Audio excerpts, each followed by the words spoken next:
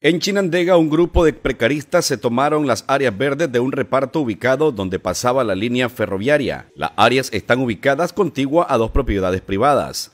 Yo me ubiqué porque, como le digo, todos somos pobres, todos tenemos necesidades pues, y ahí nos dieron y, ahí estamos. El apoyo de Don Chemaya, él ya está tanto de esto y él dijo pues que de ahí nadie nos iba a sacar. Me vine por la necesidad y yo misma me ubiqué. Entre las cosas, metamos las cosas. ¿Sí? Entre las cosas, ya.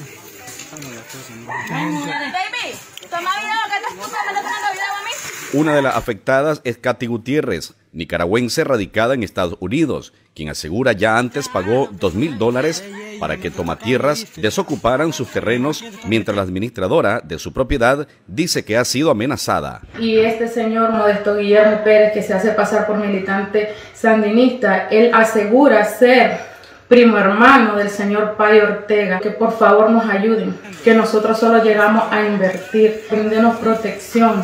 No es así que se promueve el turismo en Nicaragua. Igual yo tengo miedo y cualquier cosa que nos llegue a pasar, tanto a mis hijos como a mi, a mi familia y a mis sobrinas que están viviendo aquí y a siete extranjeros que están aquí, yo culpo a este señor porque él es el que anda levantando a todas las personas. Y hay videos donde él solo saca la cabeza y con la cantidad de vagos, porque eso es lo que se pueden decir. También es afectado el salvadoreño Eric Cruz, quien creyó podía desarrollar un proyecto ganadero que está a punto de cancelar ante la invasión. Pues en todo caso por la situación que se ha dado y eso yo pienso que ya invertir en Nicaragua no es viable para, para mí como extranjero no, no, me conviene, entonces yo pensaría en llevar mi inversión a otro lado.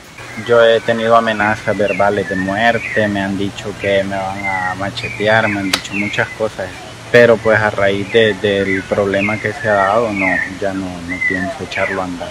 Pues yo lo que espero es el apoyo de la parte política para solucionar el problema, porque yo he tratado de dialogar con ellos y no se puede de ninguna forma, entonces posiblemente si las cosas se arreglaran pues por la vía del diálogo y la mejor y de forma legal todo yo podría tal vez seguir con los proyectos pensados. Los afectados han pedido apoyo al gobierno y hasta hoy no han tenido respuesta. Desde Chinandega, Ricardo Delgado.